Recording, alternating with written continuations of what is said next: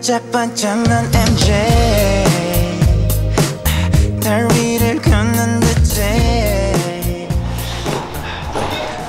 형은 2시로 들어가요. 1시 반부터 1시 반부터 네, 얘는 따르실 거예요 디저트를 맞이도 제가 할래요. 저왜 그걸 느끼냐면 디너나 그 작가들 전집에 가보면 그런 사람들이 이렇게 막짠 오프닝. 긴장이 없어요. 음, 그냥 그냥 뭔가를 하고 자연스럽게. 있어. 맞아, 이제 맞아. 와서 막 음. 인사하고 앉으면 그때 이제 하는 거. 어. 그런 게 맞는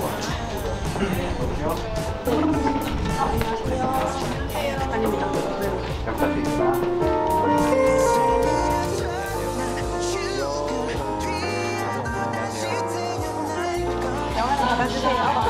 저는 명함이 없어가지고 하나 만들어주세요. 자, 이제 곧 태양의 새로운 EP 앨범 Down to Earth 발매 기념 미디어 청음회를 시작하겠습니다. 참석해주신 기자님들께서는 준비된 자리에 이제 착석하여 주시기 바랍니다. 언제였지 White Night 미주 투어 돌면서 이제 제 기타리스트였던 메디라는 친구가 저를 보고 You so down to earth 이러는 거예요. 그래서 제가 어떤 표현에서 그런 이야기를 했냐 했더니 설명을 해주는데 이를테면 굉장히 좀 인간적인 겸손한 뭐 이런 이야기들이잖아요. 그 이야기 듣고 down to earth라는 표현이 우리나라 말로 직역하면 땅으로 내려 땅으로 숙인 뭐 이런 내용인데 그런 뜻으로 쓰인다라는 게 참 인상이 깊어서 되게 좋은 표현이다 이렇게 생각하고 있었는데 저는 진짜 어렸을 때부터 이 일을 시작을 했고 그 이후부터는 계속 저와 관련된 사람들하고만 생활을 했잖아요. 제가 일찍 사회에 나와서 빠른 성공과 뭐 이런 것들로 인해서 배워야 되는 세상 속에서 더 알아가야 되는 것들을 많이 놓치게 된 것들이 너무 많았던 것 같아요. 그거를 군에 있으면서 많이 깨닫게 됐고 완전히 혼자서 모든 상황들을 맞닥뜨려 봤을 때 내가 알지 못했던 나의 부족함들을 많이 깨닫게 된 시간들이었어요. 제가 원래 있던 세상으로 돌아온다 해도 그것들을 제가 많이 채워나가야 된다는 생각 진짜 많이 했거든요. 그렇지 않으면 그냥 한 사람, 인간 동형배로서 그게 결여된 어떤 모습들로 이루는 많은 성공들 그게 나한테 진짜 무슨 의미가 있을까라는 생각을 많이 하게 됐어요. 그런 마음들을 이번 앨범에 담고 싶어서 얼스라는 표현을 쓰게 됐습니다.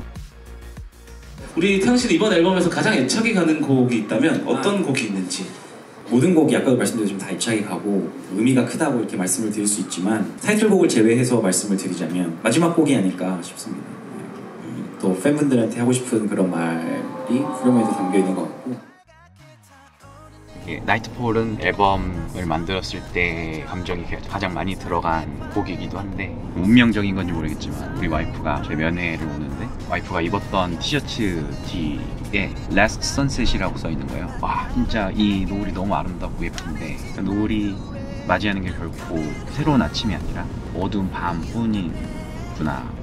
나에게도 이제 새로운 아침이 시작했으면 좋겠다. 이 노을이 마지막이었으면 좋겠다. 뭐 이런 생각이 들면서 결국에는 많은 일들 때문에 얼룩져 버리는 거죠.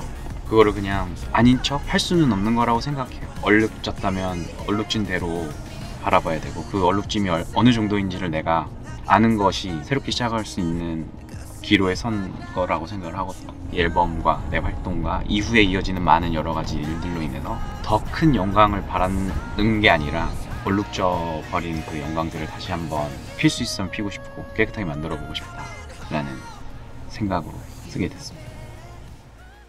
한참 이제 작업이 막 무르익었었어요. 곡들이 막 나오기 시작했을 텐데 조금 다른 텍스처와 다른 색깔의 트랙이 있었으면 좋겠다 뭐 이런 생각을 하던 찰나에 블랙 레이블의 신인 프로듀서들의 트랙들을 한번 다 받아보자 해가지고 막 엄청 받았거든요. 별로인 건 바로 넘어가고 넘어가고 넘어가는데 지금 Inspiration 샘플로 만들었던 트랙이 이제 딱 나온 거예요. 쿠시 형이 바로 잼 하듯이 멜로디를 만들고 데모로 한 1절까지 그냥 만들었어요. 만들어 놓고 곡을 들으면서 생각을 했는데 예전부터 그런 노래를 써보고 싶었거든요. 내가 영감을 받았던 많은 것들을 나열하는데 그게 이야기가 되는 형식의 노래를 만들어 보고 싶다. 영감이라는 게 좀 그런 것 같아요. 어디서 오는 건지도 모르겠고 하지만 분명히 존재하고 있고 내 안에 그게 나를 움직이고 어떻게 보면 진짜 살아가게 하는 힘이 있다라고 생각을 하는데 진짜 삶이기 때문에 내가 혹 죽는다 해도 난 다시 태어날 수 있다. 뭐 이런 비장함까지. 그래서 Inspiration이라는 제목을 붙여놓고 featuring은 군에서 만난 빈지노 형한테 노래 듣자마자 사실 생각했어요. 이거는 성빈이 형이 해주면 너무 좋겠다. 그래서 뭐 너무 멋있게 making 해줘가지고 곡이 완성이 됐어요. Inspiration은 들으면은 되게 기분이 좋아요. 걷고 있으면은 어떤 초원 위를 걷고 있는 것 같고 달빛이 되게 밝게 빛나는 것 같은 그런 느낌을 받는 곡인 것 같아요.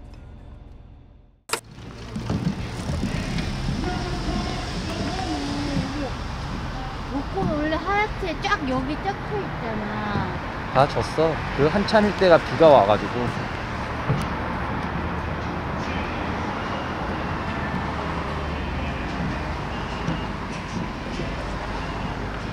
우리가 항상 보던 view를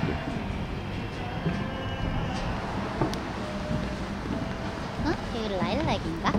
아, 라일락. 난 라일락 좋아하는데.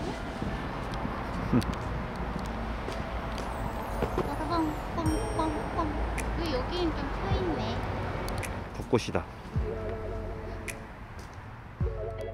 사실 와이프한테 곡 잘 안 들려줘요. 너무 솔직하거든요. 그리고 좋고 나쁨이 확실해요. 실제로 좋은 거는 진짜 그 말이 굉장히 맞을 때가 많아가지고 제가 좀 제대로 완성이 안 됐을 때 들려주는 걸 되게 꺼려해요. 나는이라는 곡은 어느 정도 완성이 됐을 때 와이프가 듣고 어? 혹시 나에 대한 곡이야? 라고 했었을 때 맞다고 저희 성이 좋아하더라고요.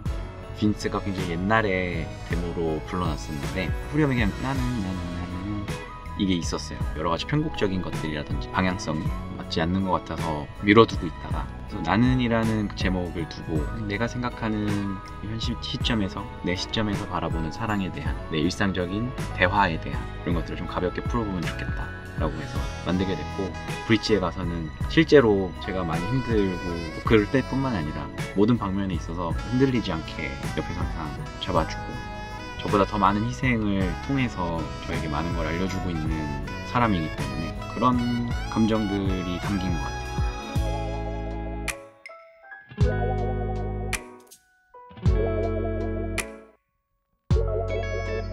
뒷모습만 찍으래서 뒷모습만 찍고 있습니다. 의미가 있나 모르겠습니다.